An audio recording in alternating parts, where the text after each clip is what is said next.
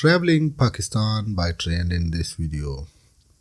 My journey from Sadiqabad, Punjab to Rohri Junction in Sindh.